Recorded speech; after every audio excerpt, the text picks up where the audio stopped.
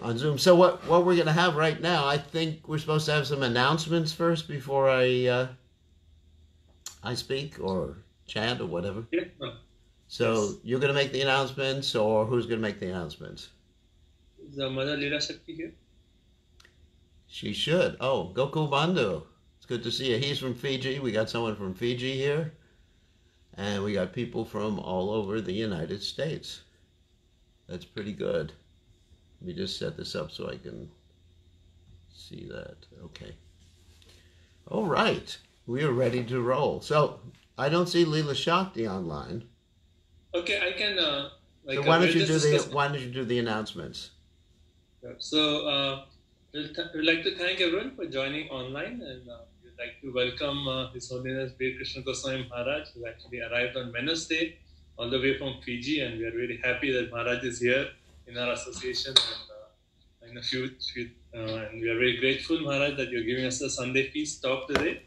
So, uh, just wanted to announce um, everyone that you know because of this pandemic, we are having lots of online classes. So for you to actually get tuned in and stay in good Krishna consciousness even while you're at home. So um, um, like every day morning, 6.30 a.m. Bhagavatam class is on mayapur.tv and then Maharaj will soon, soon start giving the morning classes. So it will be on his Facebook page also. And, uh, and also every day evening, uh, we have uh, Monday, Tuesday and Friday, Drishta Prabhu is organizing readings uh, Srimad Bhagavatam reading on Monday, uh, Chaitanya Charitamrita reading on Tuesday, and Friday, uh, Art of Chanting Hare Krishna. So three days, there's like six to seven that's reading. And also we have uh, um, every day, every evening, six to six thirty and nine to nine thirty, we are actually doing Bhagavatam study. So that's all uh, on conference call. So all these details are actually sent out on our New Goloka email. If you're not on our email, please uh, send uh, you can actually uh, personally message me your email on this group here and then i'll add you to our uh, new goloka group and that way we'll update you with all our upcoming programs and um, and also uh, i see mother lila shakti is here uh, hare krishna You have some announcements? You got to take yourself off mute to do that. Leela Shakti, you got to take yourself off mute. There, sorry. Yeah. Sorry. So I just, uh, Manali Shakti, I just announced about a few online classes and also for children we are having Monday through Thursday. Mother Company is organizing 4 to 4.35. She actually does children Krishna conscious stories. And then every Sunday, our Sunday class, uh, Sunday class which we regularly used to have is still going on from 4 to 4.40. So even the children can actually join the Sunday feast class which starts at 5 p.m. So we have many classes, and uh, also like since this pandemic, everyone is home. We are actually offering free shipping of Prabhupada's books to your house. So any books, we actually have full sets of Srimad Bhagavatam ready to go. And this is, you know, everyone is home. You can come together with your family and read Srimad Bhagavatam, Chaitanya Charitamrita sets. So we are all doing free shipping just to your house. So if you're interested in any of Prabhupada's books, just let us know. Um, I'll put my email address and uh, Mother Lila Shakti. Uh, we'll put our phone numbers on this group chat here, so you can reach out to us and uh, can help you in any way, or you know, ship out these books. We'll be happy to do so. Mother Lila Shakti, would you like to? Yes, I was just going to say that um, we're greatly missing everyone's association and I was also thinking that um, if anyone is really um, just absolutely in need of, of some uh, prasadam from Sri Sri Radha Golokananda, I'm sure that we would be um, able to deliver some of that to any of you who um, would like, if you just are can't live without the, the wonderful prasadam of the deities. Um, I was thinking about that yesterday. We don't have a, a, huge crew for Meals on Wheels, but I think maybe um, a few a few of us would be willing to bring things to your home. So if anybody would like some prasadam, um, you know, just message me or call me, and I can arrange for you. Okay. Any other announcements? So uh, again, we'd like to thank everyone for joining, and uh, without further ado, His Holiness Bir Krishna Goswami Maharaj. Thank you so much, Maharaj, for giving us your association now. So please. Okay. One thing is, I I see Maha Mantra on. Do you have your guitar with you? So I thought we would start with something really uplifting. I, I haven't planned on this, but he has this nice song called Don't Worry, which would actually be really good for people in these times of distress. So he's going to play this song for us very quickly. Then I'll chant Jai Radhamadava and then we'll have our class. So I thought we have a little fun. Actually, I just came back from Fiji on a government sponsor, not sponsored, but government arranged flight that I had to pay for. Our government arranged it. And I am in seclusion for at least, or isolation, or whatever you call it, for at least two weeks. Because I want to protect the devotees in case I picked up something. So, Ma Mantra, you ready? So this is, try to listen to the words. It's very interesting. It's a song that's Don't Worry. Chant Hare Krishna is the name of the song. And on mute. he's on mute. He'll take himself off mute. He knows how to do it. You ready? Or should I give class and you'll do it at the end? Oh, he's ready. Okay, so did you are you on a computer or what? Got to take yourself off mute. You are muted. Okay, there it is. You're Can on you a, hear me now? you're on a computer or what? Yes. So you you adjusted the sound the way I told you to have better sound? Yes, I did. Okay, so sing the song and this is a little entertaining, a little light thing before the class, but I'm sure you'll all enjoy it. One, two, ready, go.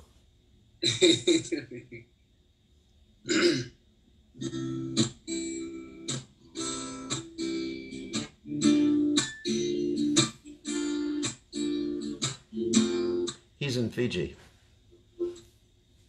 Go, go, go. Whoops. it's a little wrong-eyed copy. You may wanna sing it. Wearing a toady, don't worry. Just chant and be happy. It's- When if you worry, you make it double. Don't worry. Chant and be happy.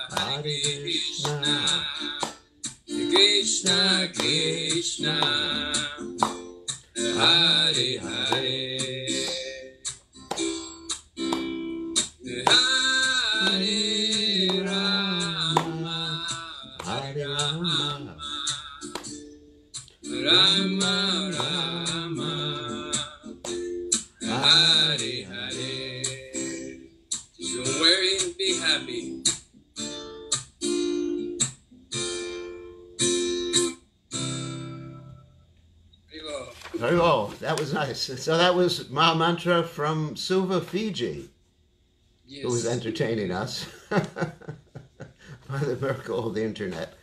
So uh, you can put yourself on uh, mute now, Ma Mantra. So I guess in the next few- few days, when I do this uh, Zoom stuff, we'll have Ma Mantra doing some more of his songs. He has a whole bunch of nice English songs and that end with chanting Hare Krishna. So, let's see. Can everybody hear me all right? Okay, good. Okay, so we're going to start the class. I'm sorry I can't chant as well as Maha Mantra, but we're going to do Jai Radha Madhava. Maharaj, you're. What's that? Maharaj, we cannot hear you. Oh, you can't hear me. You're muted. Oh, yeah. Sorry. Can't hear if he's coming. How about now?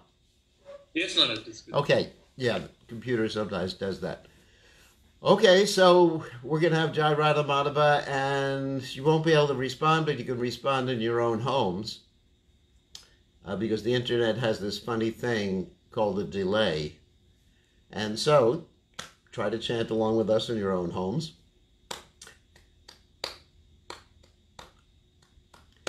Jayo Radha Madhava Kunja Bihari Jayo Radha Madhava Kunja Bihari Gopi Jana Balaba Hiribadodhari Gopi Jana Balaba Hiribadodhari Yashodananda Braja Jana Ranjana. Yashodanandana Braja Jana Ranjana. Yamuna Tera Banachari Yamuna Tera Manachari Jai Huradam Madhova Kunjabi Hare Jai Huradam Madhava Kunjabi Hare Gopi Jana Malava Giribadhari Gopi Jana Malava Hirivarurare Yashodanandana Vraja Janoranjana Yashodanandana Vraja Janoranjana Yamuna Tira Manachari Jamuna Tira Manachari Jai Radha Madhava Kunjabi Hari Jai Radha Madhava Kunjabi Hari Jai Om Vishnupad Paramahansa Parivrajakacharya also Teta Sitashi Shimad His Divine Grace Abhaya Charanada Bhaktivedanta Goswami Srila Prabhupada Ki Jai. ISKCON Founder Acharya Srila Prabhupada Ki Jai Anantakoti Vaishnav Vrind Ki Jai Namacharya Srila Haridas Thakur Ki Jai Prem Se Kaho Shri Chaitanya Prabhu Nityananda Shitwaita Gadadha Shiva Siddhi Gaur Bhakta Vrinda Ki Jai Shri Shri Radhakrishna Go Bhagavata Sayam Kun Radhakunda Giri Govardhan Ki Jai Vrindavanam Ki Jai Maturanam Ki Jai Jagannath Swami Ki Jai Munamai Ki Jai Shrimati Lasi Devi Ki Jai Samaveta Bhakta Vrinda Ki Jai Go, Premananda, Hari Hari Go. All glory is the assembled devotees, all glory is the assembled devotees. All glory is the assembled devotees, all glory is to Shri Guru and Gauranga. Shilpopad Ki Jai. So I'm very happy to see so many people. We got 43 here uh, on Zoom, and we have another 35 on Facebook right now. Not bad for class. It's more than we have in a normal Sunday program here. So, uh, Omagana Timiranda Shah Gananjana Shilakaya Chakshurud Meditam Yena Tasmai Shi Gurave Namaha. So, uh, I'd like to speak about something positive today, since I think most of you have been talking or hearing uh, about the so-called co- coronavirus, or as I say, corona virus. Karuna means merciful.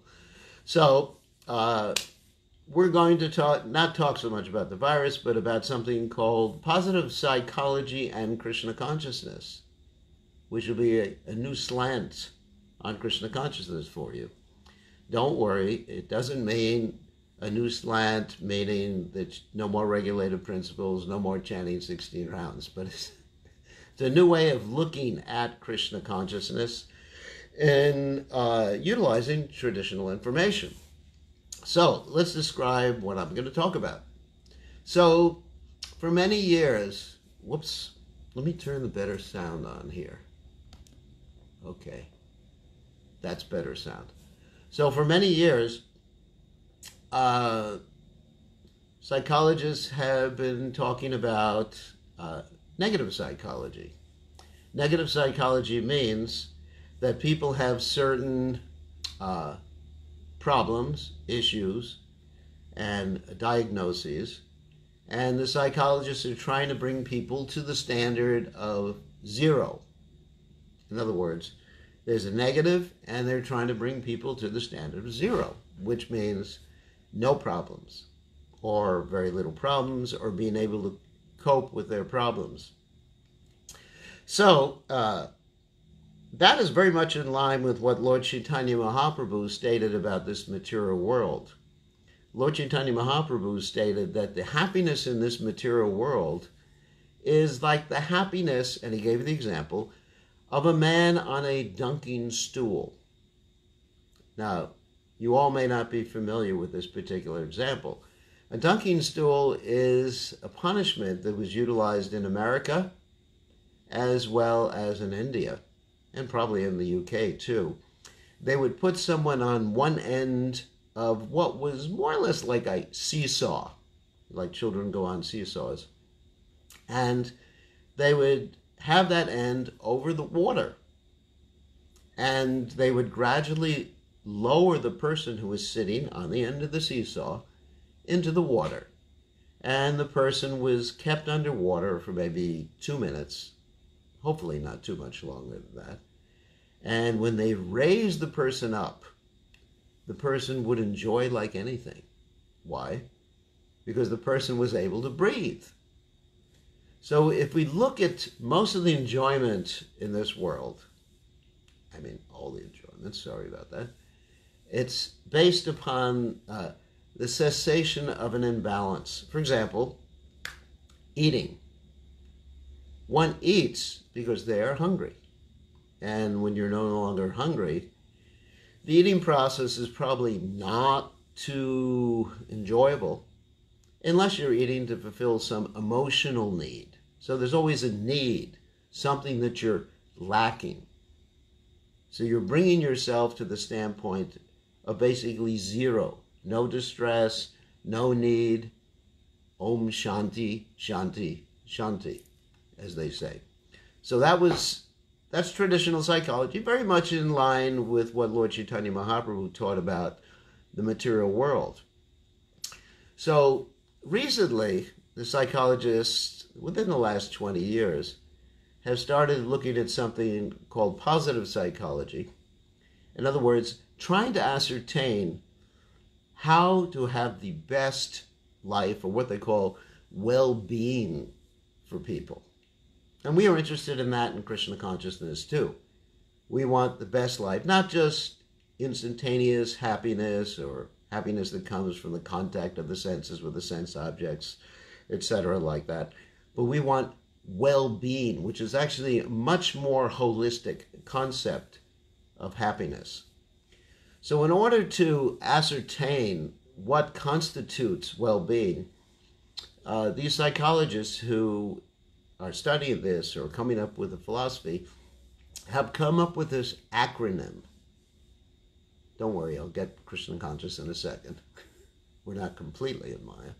So they've come up with this acronym, and this acronym PERMA, P E R M A this is their uh, standpoint or this is their mm, standard for what constitutes well being in a person. So I was looking at this concept of PERMA. Actually, I've been studying quite a bit of it in my spare time when I don't chat Hare Krishna. So I've been studying quite a bit of it and seeing that as Krishna conscious persons, or as people who are aspiring to be Krishna conscious persons, we have the best shot at achieving this perma or this well being in life. And so I'm going to go over each item of this particular acronym. Okay, so PERMA, let's start with P. So the P in PERMA starts or represents a positive attitude. Now, right now, many of us may not be experiencing a positive attitude because of various reasons. We may be, that's good. Thank you for Aditya, Aditya for putting that up there. P means positive attitude. Uh, we may not be experiencing that because we're feeling locked up, confined. We may be worried about what? Our financial situation. Some of us may not be able to work, or those of us who are in a temple are worrying Oh, will there be money to pay for the Bhoga? Don't worry. Krishna says, Nitya Nityanam Chaitanas Chaitananam Eko Bohanam Yovidadati. Come on, he takes care of everybody.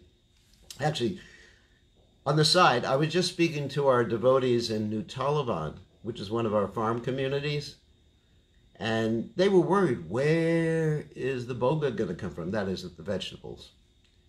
And I said to them, well, you got 2,000 acres, boys get to work.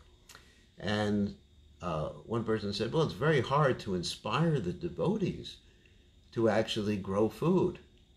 Guess what I said? Okay, as your GBC, as of two months from now, no more buying bhoga.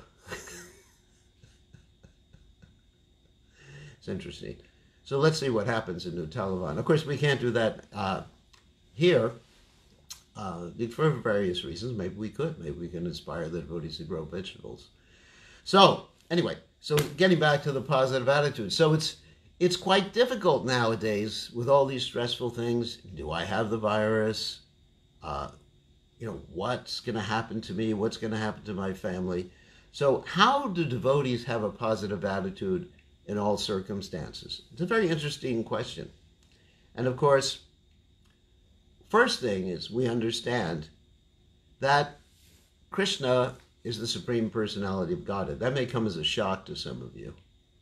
So, as God, that's G O D, as God, He actually controls everything. He's the supreme controller. There's many verses. Ishwara Sarvabhutanam, Ridesha Arjuna Tishtati, uh, Ramayan Sarvabhutani Antra, Runani Oh, Maya. That's from the Bhagavad Gita. And also Ishwara Parama Krishna Satchidananda Vigraha, Anadir Adir Govinda Sarva Karana Karanam, which means Krishna is the supreme controller, he's the cause of all causes. Do we actually have faith in that? So, in other words, not a blade of grass. Let me go back a little bit because I see my face is too big. So, not a blade of grass moves without the will of the Supreme Personality of Godhead. That is quite interesting. Uh, although people who are not Krishna conscious think something opposite. There's an interesting verse, 16.8 in the Bhagavad Gita, that states, uh, mm, Asacham apratishtam te jagadahranishram uh, aparasparam sambhutam kimanyat kama haitukam. And this is the Vedic or atheistic viewpoint, which is they think everything is due to lust, or in other words, it's all due to chance things and evolution and all that other nice stuff. And there is no there is no reason for anything in this world. Everything happens by chance and some people are fortunate some people are unfortunate by chance. So uh, therefore we as people who have some faith hopefully. Shraddha shabde shakahe uh, faith in krishna faith in the existence of krishna at least. Uh, we understand that whatever is happening that is not in our control actually is being done by the agency of the Supreme Personality of Godhead and his agents, who he is controlling 100%. So, does that mean we should get angry at God for what he's doing? No. Because we should understand that Krishna's intention, as Krishna says in the Gita, Samaham sarvabhuteshu name dveshosti priya. Krishna says I'm equal to everyone. It's not that I'm favoring some people or not favoring others. Uh, so whatever Krishna is doing, even though it may appear to be something that's really bad, and this coronavirus is really bad, not just the coronavirus, but so many things in this world, such as Janma Mrityu Jara Vyadi Dukkha Doshana Darshanam, uh, then there's a reason behind it, behind it. And the reason is for our benefit. As Krishna says in the fifth chapter of the Gita, Bhaktaram Jagatapasam, Sarvaloka Maheshwaram, Suhridam Sarva Bhutanam, Gatva Mam Shanti, Richati that he is Suhridam Sarva Bhutanam, which means he's the well wisher. He's the not only a regular well wisher, not only just Mitra, friend, but he's the heart wisher. You know, he's in our heart, he's wishing us well. And so, therefore, it behooves us to try to understand uh, what Krishna is saying to us, what Krishna is doing. I mean, there's things happening on a macrocosmic level as well as a microcosmic or an individual level. On the greater level, we can say that Krishna, let's say, talking about this virus, for example, which I said I wasn't going to talk about, but I am, that Krishna is actually showing that these particular types of viruses come from people who eat meat, or let's say the raising of animals for slaughter. So there's some sort of reaction there. So that's on a bigger level. On a uh, individual level, each and every one of us has to figure out what Krishna is telling us. what Krishna wants us to learn by these difficulties we're going through. And of course, we're not asking for more difficulties like Queen Kunti was asking for. Queen Kunti, of course, she said, uh, Tatra Tatra, Jagat Guru, again and again send difficulties. But Prabhupada said we shouldn't ask for difficulties. But we should understand what are we meant to learn. I mean, I'll give you a practical example in my own life. Generally, I think I'm the controller, like most of us in this world. As Krishna says in the Gita, this the mentality of practically every one of us who's not completely Krishna conscious is uh, Ishwaraham, Aham Bogi, Siroham, Balavan Sukhi. That I am perfect, I am powerful, I am happy, whatever. So, you know, we think we can control things, especially those of us who have some uh, knowledge of technology. Hmm. And some of you work in the technological field who are watching us right now. And, you know, you know by programming a computer a certain way, and you know you can go on the internet and Google something and find it out. So, I'm going to use an example of my own life, something I just learned. Okay, I was in Fiji and some of the people from Fiji are watching us right now, actually. Uh, Adi Purush and Mahamantra, I see them up there. and Gokul Bandhu. So it's nice to have people from all around the world. So uh, I was in Fiji and I heard about this virus. I thought, well, I better go home. So I made a reservation, went on the internet with my trusty computer, and thought, you know, I've done it. Okay, it was canceled. And I thought, eh, no problem. I'm intelligent. I can make another arrangement. So I went on my trusty computer, finagled around, found which country would actually allow me to transit through it. And I thought, yeah, I've beaten it. Okay. Then I found out the flight was canceled, and also that country wouldn't let me transit afterwards, after I made that reservation. Okay, third time we tried it. Then after that, I thought, you know, I've beaten it. I know what I'm doing. I'm intelligent. And then guess what? They closed the airport. so, uh, what did I learn? The first two times I was in anxiety, thinking, you know, why can't I do this? The third time, I just threw my hands up like, I guess, somewhat like Draupadi threw her hands up when uh, Dushashan was attempting to uh, do his thing on her. And I said, Krishna, whatever you want, then I'll accept. And then the next next thing I knew, Krishna sent me to stay a week on the beach, you know, swimming every day and having a good time with devotees. so, and then I was able to uh, to actually recover my health and be healthier than I've been in, in years. Many of you can see that I'm starting to look like an Indian now. The skin color. so Krishna had a plan.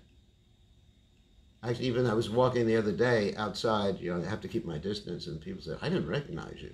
So, so anyway, so it also helped me uh, relax a little bit, study a little bit more, think more about my purpose of life, think more about, you know, life could end at any minute. You know, these are different lessons.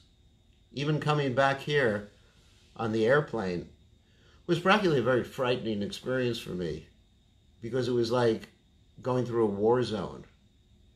You know, everybody with their masks and scared of each other. And, and then I was thinking, yes, this life could end at any minute. So in my personal life, actually, I've learned a lot from this particular uh, circumstance. I mean, hopefully, Krishna will let me live. But anyway, so I've learned a lot the temporary nature of this material world. And I would say that Krishna has helped me advance tremendously in devotional service by uh, by what's happened. I mean, one one thing is I've actually lost my attraction to watching Star Wars movies. It's actually pretty good.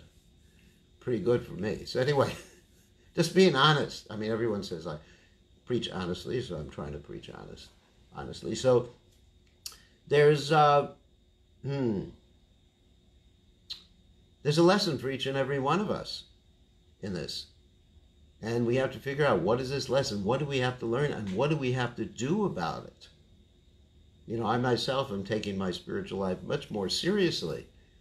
And therefore, to me, I see it positively. It's Krishna. Krishna loves me, and Krishna is helping me in this way. And when one sees in that way, there's an interesting verse in the Bhagavatam, 1014, uh, 58, about uh, padam padam yad vipadam natesham.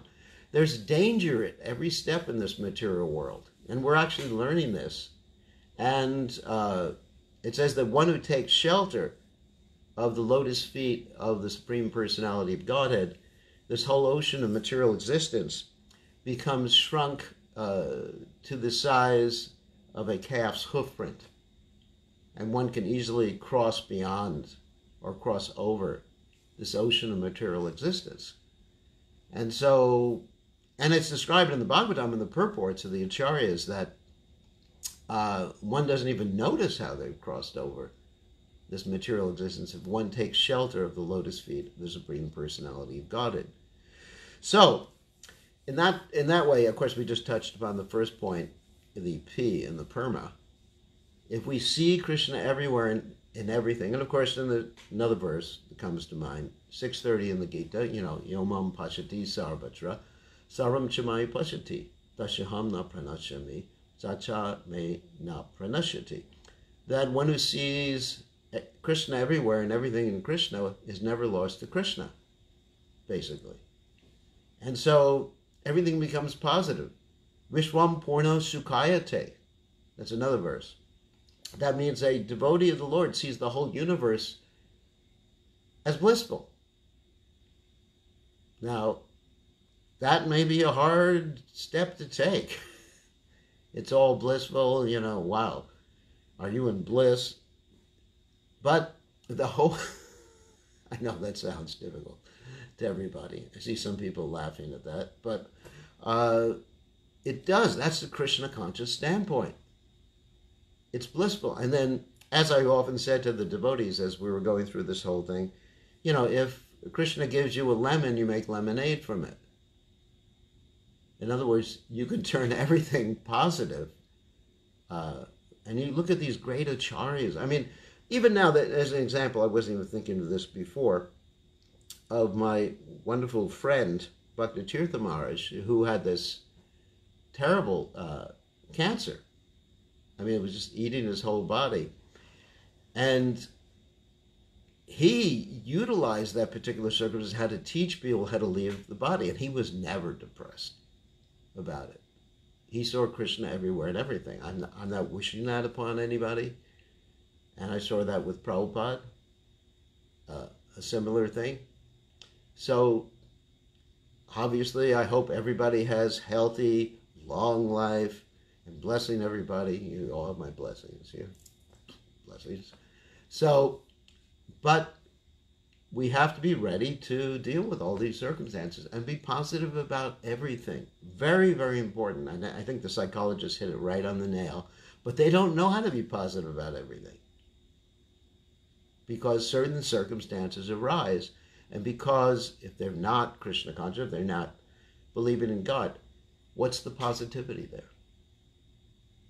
You know, if Krishna takes everything away, and he does that sometimes with his devotees, Yashaham shanai, how can you be positive about it? But the, the real lack is the loving relationship with Krishna. We'll get on to that in a second. All right. So I'm looking at the time. I don't want to go too long. And also, I want to have time open for questions at the end of this whole discussion. So the next one is E. Now, what does E stand for in the PERMA? E stands for engaged. Maybe you can write that down for everybody, did you? So they can see it. Engage. Engaged means, for those of you who are Westerners watching us, it means being in the flow. For those of you who are computer programmers, it means getting so much into your programming you forget about everything.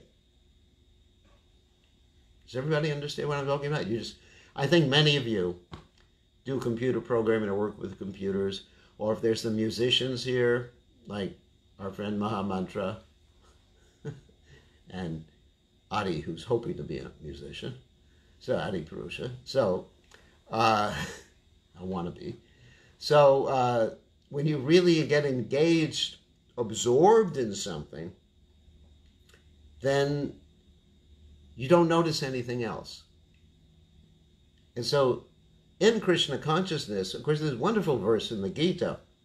Uh, Brahmarpada Brahmahavir Brahmagno Brahmano Hutam Brahmatena Gantavyam Brahma Karma Samadhinam.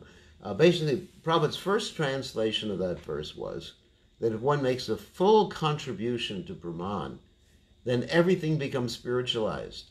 His life becomes spiritualized, the offering becomes spiritualized, the result of the offering becomes spiritualized. Everything, so that's absorption. So in Krishna consciousness, we have something called varnashram, and I'm talking more, more or less like varna now, not ashram. Uh, Varna means we all have particular things we can do for Krishna, and everything you do for Krishna in accordance with your psychophysical nature can give you perfection. I mean, that's wonderful. Like Arjuna, what was he doing for Krishna? He was fighting to protect others, and that was his psychophysical nature. And Krishna said to him in the Gita, that even if you don't want to fight, you're going to be forced to fight, but for the wrong purpose. Because everybody has a nature. You know, some people like to study, some people like philosophy, some people like to manage, some people like making money, some people like, what else? Uh, like working with their hands, doing little artistic things. Some people like building buildings. Well, guess what? You should do all those, any of those things that fit your psychophysical nature. You can do them for Krishna. The whole point is to be absorbed. Like Prabhupada said, the duty of the spiritual master is to ascertain the psychophysical nature of the disciple and engage her or him according to the situation. And that's wonderful. So, in other words, I was asked the other day about this verse in the Gita where Krishna says uh, that hmm, he who uh, teaches this Bhagavad Gita, to the devotees, is most dear. So one other devotee asked me the question, does that mean everyone else is less dear to Krishna? And my reply was pretty much in line with what Prabhupada taught us, uh, is that if everyone's contributing to it, then they're all getting equal benefit. Like Prabhupada gave the example, which is a little dated example of the Indian railway system. And the Indian railway system has this motto what is it? Keep the wheels turning.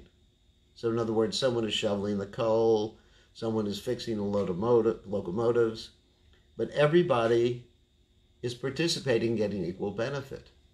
So, it's the same thing. Someone is cooking, uh, for Krishna, someone is doing the deity worship, someone is distributing books, and it's all for the benefit of the general mass of people, bringing people to Krishna consciousness. That's why Prabhupada called it the Krishna consciousness movement. So, uh, one needs to find something that they really can be absorbed in for Krishna. Like I see Jagat is watching it right now, and he's absorbed, he's doing his like today, he was absorbed in helping me get the network together. Like 100% absorbed, like samadhi, network samadhi. So, internet samadhi. You know, he probably dreams about computers and things like that. But that's perfection. So that's the second point of the perma. Everybody remembers that? Engagement, or being absorbed, or being in the zone, or being in the flow because that's when we're happy. When we're doing that, when we're in the flow, when a musician is just absorbed in doing music for Krishna, of course. So, so Krishna consciousness gives us the means of doing that. And the next one, P-E-R, is something that's very important. It's called relationships or relation. So we have many relationships or relations. Uh, for example, let's take Krishna, for example. Krishna is the Supreme Personality of Godhead. He's all attractive. He loves every one of us. We all have a personal relationship with him. We have a loving propensity that we want to expand unlimitedly, as Prabhupada says in the Krishna book.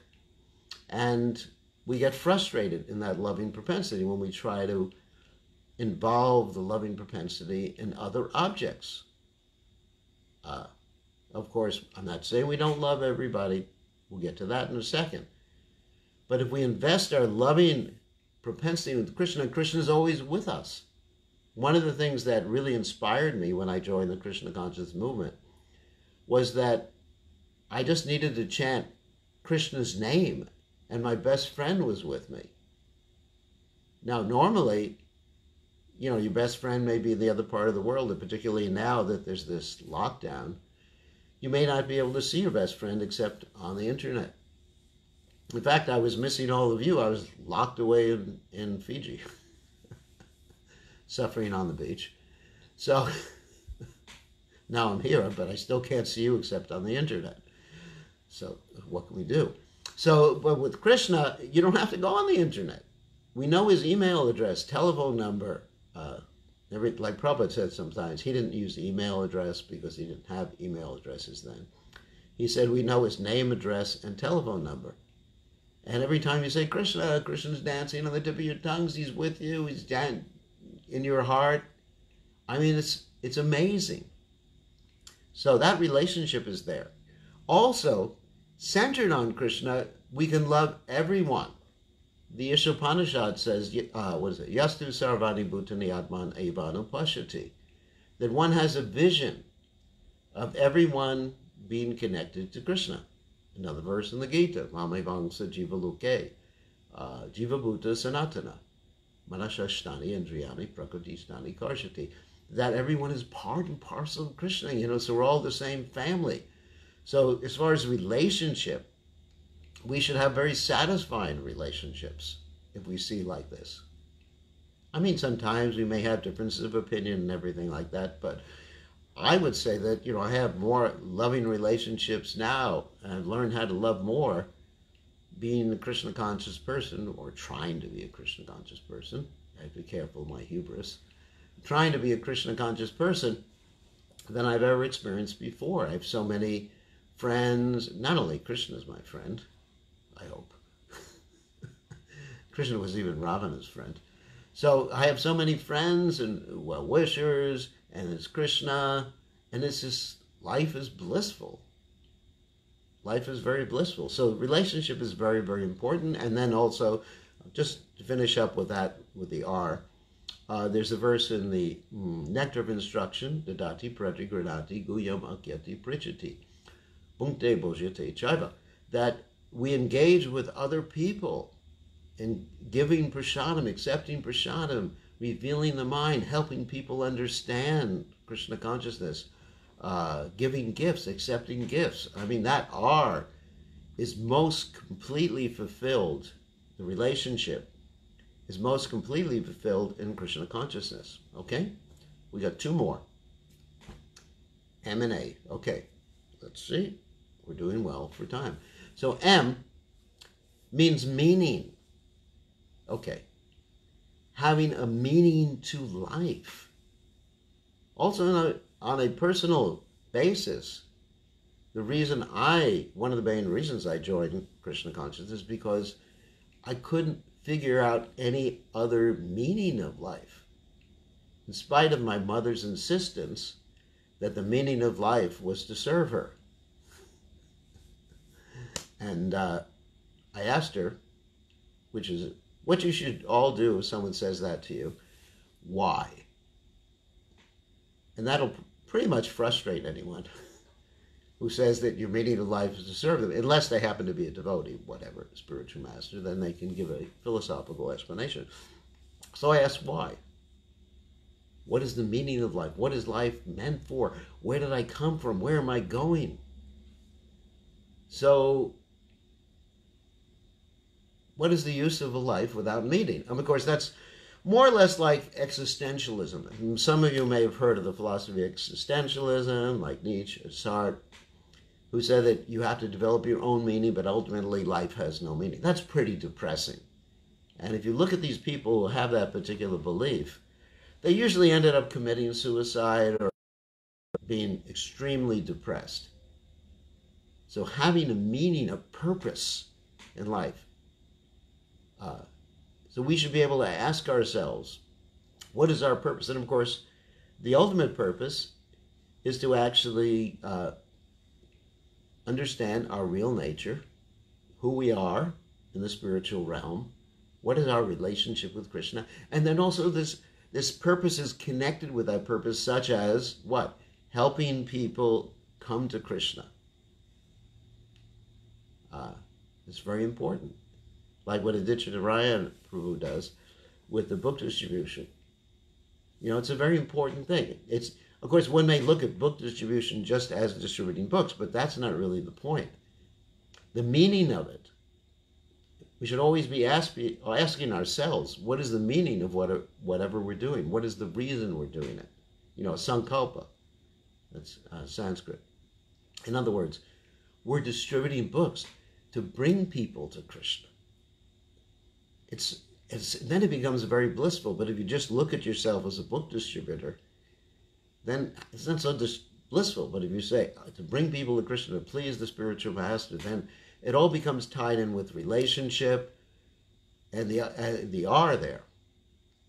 So I I experience that having Krishna consciousness gives my life meaning. So there's no question of ever getting depressed because I have a purpose in life. And then the final one is A. And you can write this down. That means achievement or accomplishment. So, in other words, we have to feel we're getting somewhere in life. We're achieving something, we're accomplishing something. So, of course, getting back to Aditya Narayan Prabhu, who sponsored this talk, that just a joke. That you know, when we bring people to Krishna consciousness, we feel like I've achieved something. I mean, every time I am able to bring someone to Krishna consciousness, I become very blissful. Uh, because it, it means my life has meaning, I'm achieving something. Every time we make some spiritual advancement, and you can actually tell your spiritual, you can ascertain how much you're getting advanced or you're advancing spiritually. Prabhupada said that, just like you could tell how you're growing uh, by measuring your height. Uh, when I was young, my mother would measure my height against uh, the wall. She'd make a mark on the wall. And every, of course, every day I measured it, but it didn't grow every day. But after a while, you could see how I was growing. It became very inspiring. So by purifying your existence, and uh, we can actually see how we're achieving things in this world. And so book distribution, prasadam, uh, chanting, and also Vasudeva Bhagavati Bhakti Yoga Prayojita Janayati Asu Vairagya Gyanam Charyada Haitakam. By performing devotional service, one actually loses a taste for things that are not making them happy. I mean, like I just gave the example of my Star Wars taste. Uh, you know, just like it just went away. Amazing. I'm just thinking it would never happen, and it just went away. So, so I could see, wow, Krishna's given me a little bit of spiritual advancement. And so this is very inspiring. I'm achieving something because if you don't achieve something, if you don't feel you're making advancement, don't feel you're helping people, don't see substantial, uh, objective evidence, then how could you really be satisfied in life? So, anyway, so this is my analysis of uh, positive psychology and how it fits in with Krishna consciousness. I became very inspired when I uh, started reading about positive psychology. And I think we, or spiritualists in general, can uh, really be the only ones who are practicing to the highest degree positive psychology. So, On that happy note, we'll open this up for questions. If anyone has a question about anything I might have said. A question. Yeah, oh, there is Mother Tulsi in the dark. Okay, what's the question? Okay, so we have some uh, younger people here online, devote younger, you know, Not newer you. devotees. No, I'm very senior in age, uh, old age. Uh, but um, anyway, okay, so if we just start thinking of the things we're attached to, like, oh man, I have to like, I'll know I'm getting advanced when I'm starting to become detached of this thing I'm really attached to. That can be Depression. like a negative kind of mentality. yeah, so therefore, therefore we don't or think not, we, we don't. or not enthusiastic. Yeah, let me answer your question. So there, therefore, we don't think about what we're attached to. I mean, I didn't worry. Just using the example of Star Wars, I didn't. I didn't worry about my attachment to it. I mean, it wasn't against the regular principles. I understood it. I was aware of it. It did make me guilty. But uh, I, I just took a positive tact. You know, Krishna helped me in many ways just taking a positive tact by chanting Vasudevi Bhagavati. You don't, we should not think negatively about giving things up. Unless there are obvious, you know, things that are really dangerous to our health. I mean, that's obvious. But we, but even when we do give things up, we should have a positive reason for doing them. I mean, for example, one thing I gave up is I was, I wasn't going to take my dinner right now, but so I gave up. I gave up taking my dinner, but I'm much happier talking to all of you. I'm going to take dinner afterwards. Don't worry. I'm much happier talking to all of you. So it's not that it was difficult for me to do that.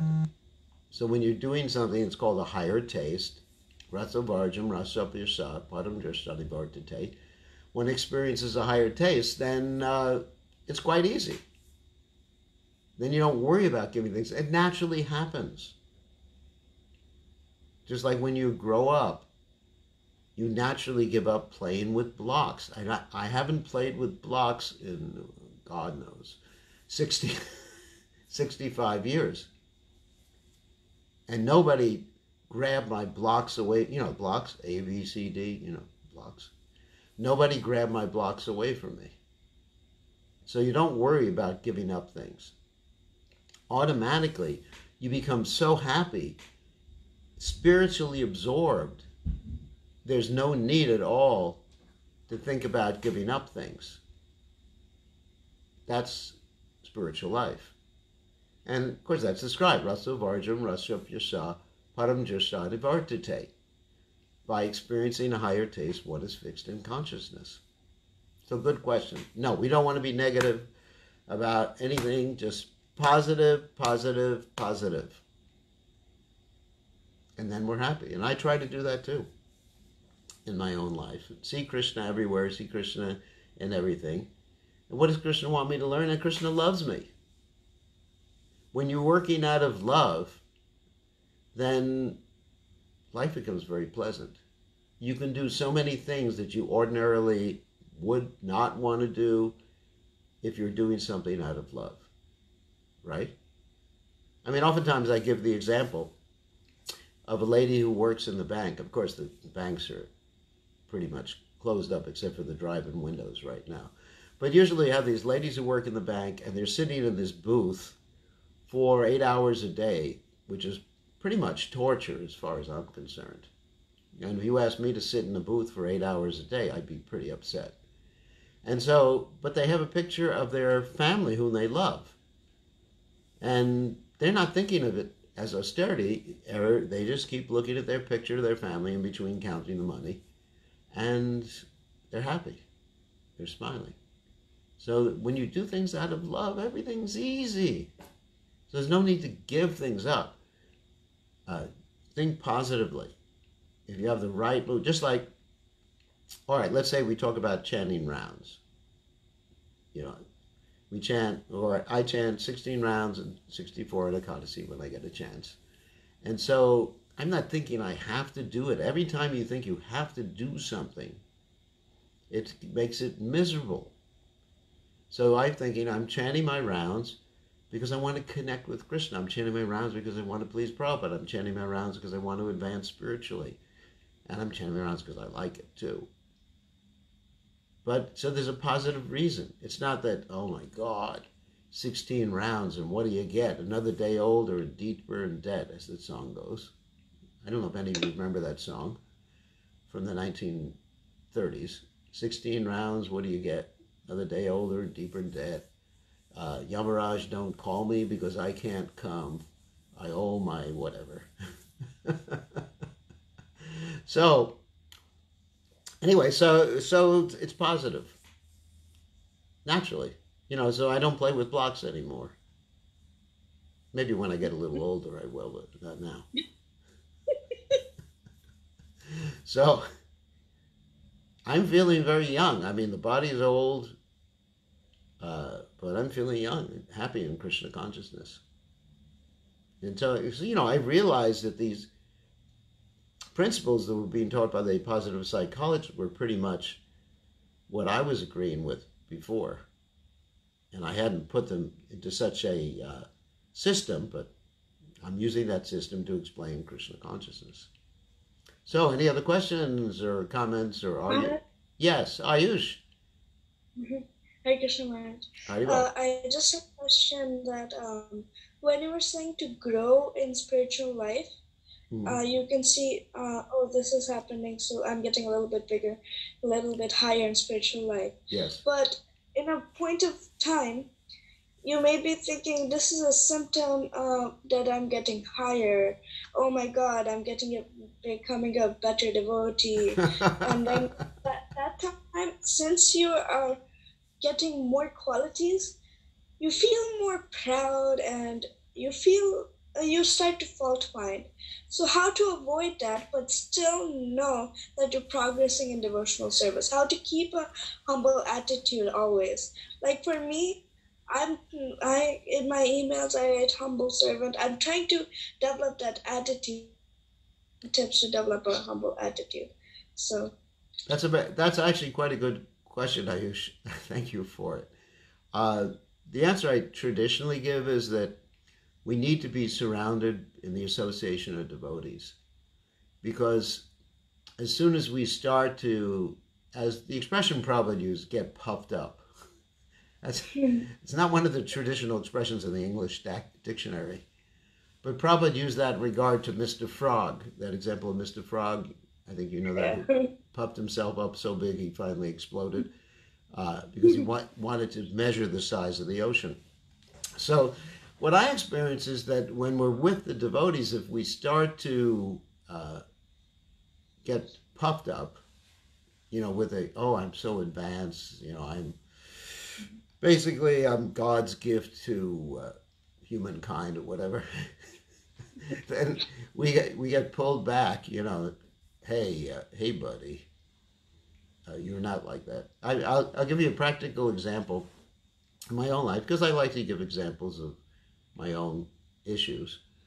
This was many years ago when I was a little older than you. And I was on Traveling Sankirtan, which means the book distribution, for those of you don't know, and distributing Prabhupada's books. But I was actually I was arranging programs for a sannyasi.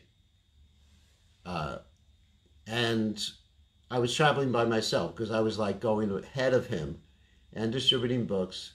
And I became quite good at distributing books. And I thought, you know, I'm basically one of the best book distributors that, in the ISKCON movement. I actually was one of the first.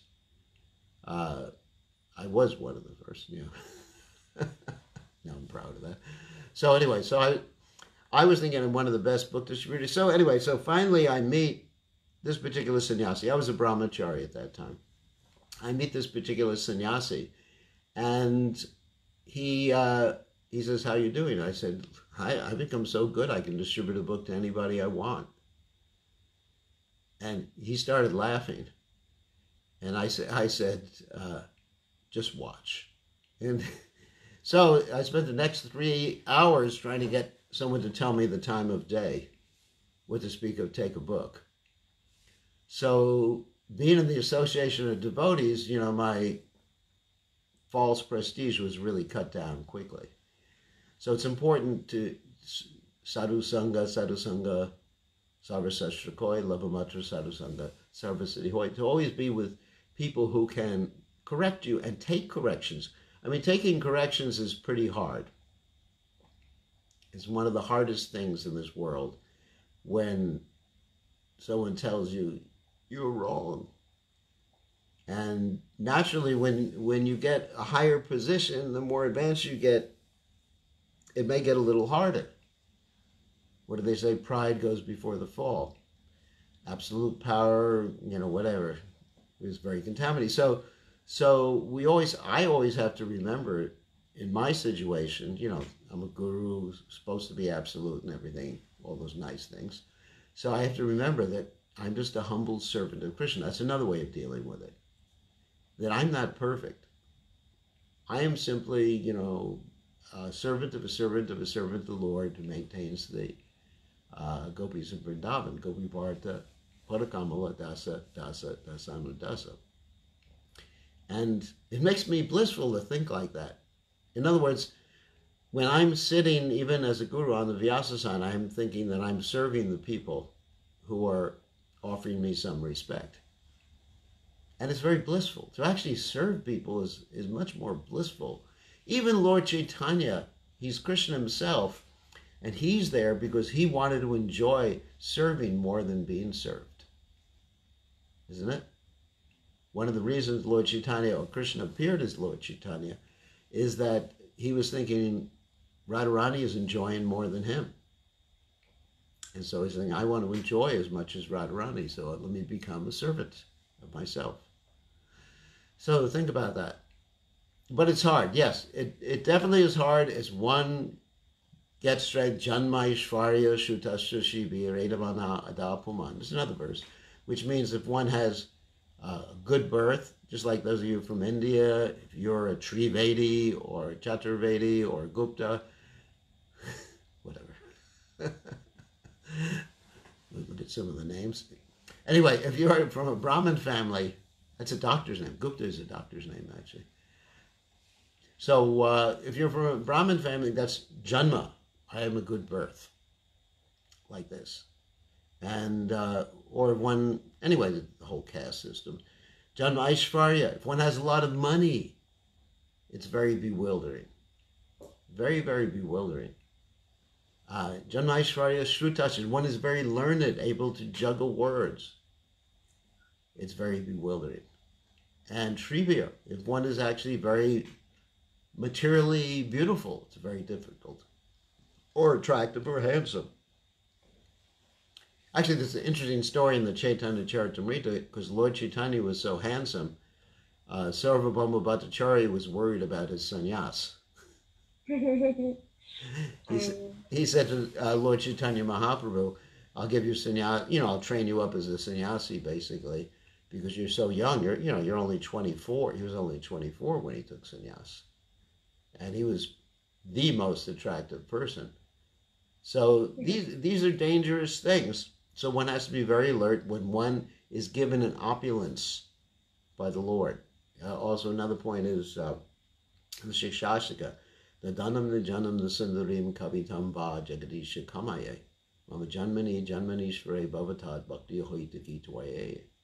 Uh, Nadanam najanam nasundarim kavitam va jagadisha. I don't, you know, one has to really be detached from these things and simply think, I just want to love you, Krishna, and serve you, Krishna, and the devotees, life after life. Janmani, Janmani Share Bhavatad Bhakti Hoitaki Twaye.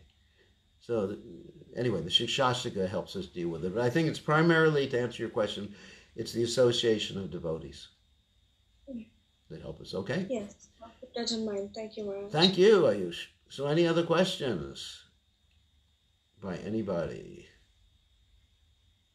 Let's see, what time is it? Oh, it's already 6.09. Questions? We have one.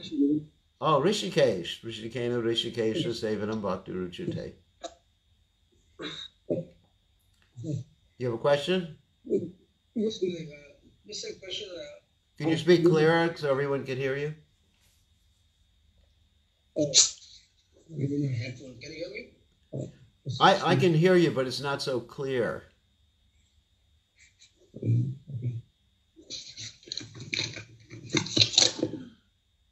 I think someone else can take the question. I'm in a headphone, so it's not picking up. Uh, my question was, uh, how do uh, what is the uh, correct way of expression of humility? How do you express humility in a genuine way? Okay, how do you express humility in a genuine way? Well, that's interesting. Interesting question. Oftentimes, when I'm asked that question, I give the answer that humility means hmm, not to think less of yourself, but to think of yourself less. that's an interesting question. Interesting answer. In other words, humility doesn't mean simply to go around telling everybody I'm just a humble servant, I'm useless. Then you get very depressed. And that's another that's another way of we can express self-centeredness if we just talk about ourselves. But real humility means to understand that we're servants of Krishna, servants of everybody, uh, especially Krishna, his devotees, and others. And uh, sometimes just give up our own, let's say, objectives or plans for the objectives and plans of the person who we love the most. That's Krishna. Just knowing, trying to ascertain, or all right, going back to the first P, uh, the positive attitude, trying to understand what Krishna wants, what Krishna is saying, what Krishna wants, and then acting accordingly.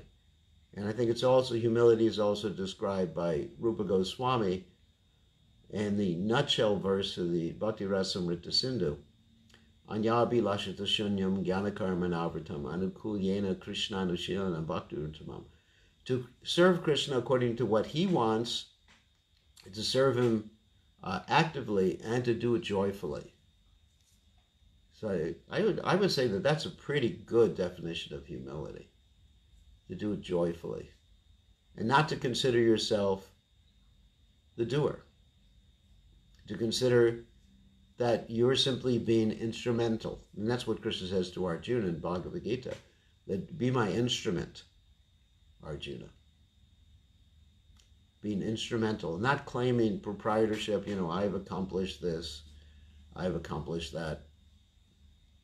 Uh, because really, what can we accomplish? I mean, everything, as Krishna says in the Gita, I'm the ability in people. I'm the strength of the strong, the intelligence of the intelligent. And if we remember that, you know, my intelligence, ability, strength, whatever belongs to Krishna. It comes from Krishna. Because if Krishna doesn't want, then I could just sit here in back of the microphone and just like not say anything uh, that people will understand. But Krishna's given me the intelligence, and I give Krishna all the credit for it. All right. So, what do you think? Anybody else before we end?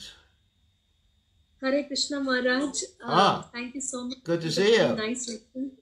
Hare Krishna. Hare Krishna. So my question, uh, my question is, uh, you know, now it's a time of anxiety, yeah. and uh, of course, uh, the whole world is in anxiety, and as devotees, we are trying to see what best we can uh, keep ourselves engaged with. hmm Uh, but we are basically been a social movement, right? You know, every day we, we our life has been like being with devotees and association and prasadam and Sunday feast. True. So we are missing that a lot. Of course, there is so much of this association over the internet, and also as days grows by, it's like how to handle this uncertainty. It's uh, still looming. What's going to happen? Uh, you know, when the thoughts of uncertainty comes in, what should we tell ourselves, and you know how to handle this in a practical way? Good question. Um, actually, uh, I'm going to say something maybe controversial. Anxiety is not bad. because without without some anxiety, uh, I mean, definitely when I was a new devotee, Prabhupada would put us in anxiety all the time. And uh, a little anxiety. I mean, I'm not talking about crippling anxiety or anything like that. And so it gets us thinking. Because without anxiety, if we're, if we're just like Prabhupada said, an easy life and Krishna consciousness don't go well together. So without a little anxiety, then we really don't make any changes in life or just be introspective. And so this anxiety should inspire us to really go internal in our own Krishna consciousness. Because right now, as you said, we're not able to socialize so much on the internet. And this is not as, frankly, it's not as satisfying as seeing you personally in the same room like that. You know, I'm seeing a whole bunch of little squares of people's heads right now. on, on the screen. And so it's it's not a, it's really not as satisfying or as personal. In fact, I am dealing with some devotees personally now, but they have to stay 50 feet away from me because I'm in self isolation. so I am able to do some things like that.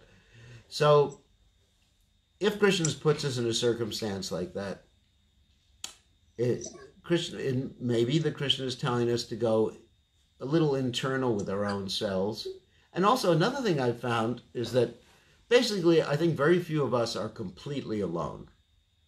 You know, with fam, we're usually with family members or friends. So it's really helping us deepen relationships with our family. I've seen before that uh, before this thing happened, many people really never talked to their husbands or wives. Is that true? I mean, other other than you know, uh, what's for dinner tonight, or when can we go to the temple? So, when you're really stuck in this, I don't want to use the word stuck, but in you're in the same room with the same person in the same house. Uh, you got to get to know your husband and wife. you got to get to know the other devotees. I mean, I experienced this in. Uh, I was in Fiji, and uh, locked locked in an unfortunate situation in my beach house. Anyway, with that's a joke, but I I was uh, with some very, very nice devotees, and one of them is watching right now, Gokul Bandhu. Probably other devotees are watching with him at the same time. Uh, you know, we were basically isolated there. A very nice family, uh, Sanatan Saki, Gokul Bandhu, and actually, you know, really brought us closer together. You know, deepen the relationship, and it, and it also made me think that you know we should have these sorts of deep relationships and appreciate each other more, because when we're too much social in a larger sense, we we tend to uh, not really have deep relationships. It's more like social life. So I think when, things open up again, when this is one of the things that positively, you know, I think that Krishna is showing us this. So when things open up again, we can really appreciate each other more and get deeper into relation, you know, relationship with each other. I mean, I I'm seeing myself. I did I didn't appreciate all of you when I had the chance. You know, I'm more or less like, you know, hello, Hare Krishna. Oh, you want some blessings? Here's a blessing. you know, two-handed blessing. You know, namaste. You know, of course, everyone's learning how to how to greet each other. Namaste now, even Donald Trump. So, so there's an advantage even to him. So, so from that standpoint, things will open up. Things will open up, and uh, I think we're learning lessons about relationships now. So I hope that answers that question about you know relations. We are very social, and even uh, today I was speaking to Drista Prabhu when he was stre- stressing that maybe three, four times a week I should put out some video messages to be sent to the WhatsApp group.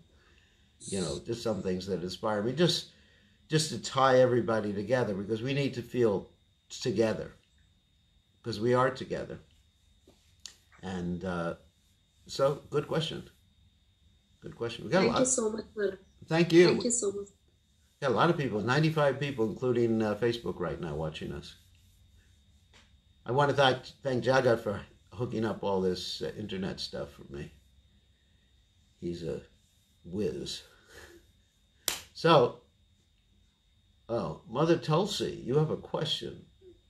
All right, one more question from you. Okay, so um, how to deal with um, like moments of or periods, not clinical, but just periods or times of depression. Not clinical, I'm talking about. Just, you Clinical, know. see a doctor. Uh, yeah. I think I think of those times. Uh, we should start to count our blessings. You know, oftentimes we we concentrate on what's going wrong, and there are a lot of things going wrong in the world. I mean, obviously, in our personal lives or whatever going wrong, and uh, if we think about how fortunate we are to have Krishna consciousness, uh, then it, I think that'll help too. And you know, de- depression may be a sign that we have some needs. You know, there, there, there are certain needs that maybe I don't have enough loving relationships, or I'm not I'm not loving enough with other people.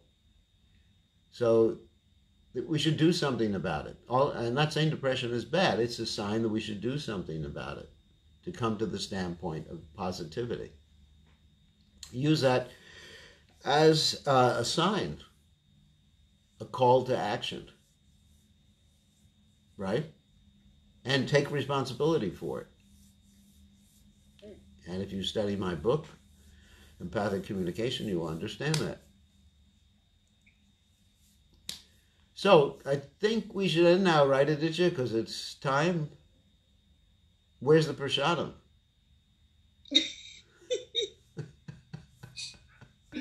Is it virtual prasadam or something like that tonight? We can sing the prasadam prayers and everyone can honor at their house.